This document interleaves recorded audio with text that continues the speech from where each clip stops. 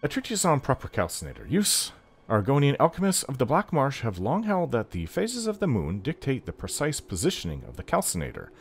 During the full moon, the calcinator should face due south, aligned with the Southron pole star. Southron? It is well known that the Southron pole star is slightly offset from true south.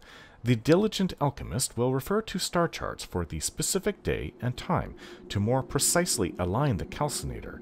For each night of the phases of the moon after full, the calcinator should be rotated clockwise 28 of a circle.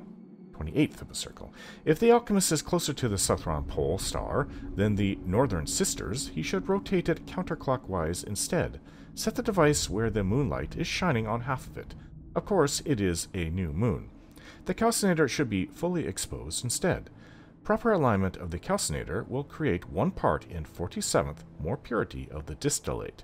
Obviously, this is a highly desirable attribute, even though the effect may not be that noticeable. I've never come across this before, actually. It actually sounds like rubbish to me, but never know.